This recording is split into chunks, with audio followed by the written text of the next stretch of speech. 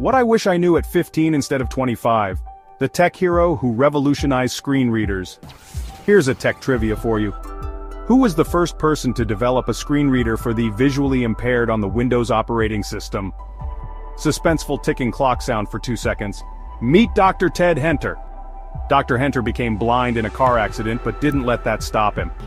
In 1989 he developed JAWS, Job Access with Speech. JAWS became groundbreaking as it allowed the visually impaired to use computers independently. Imagine navigating your PC just by listening. Dr. Henter's innovation transformed lives, opening up new possibilities for education, employment, and daily tasks. Today, JAWS is still the leading screen reader software used worldwide.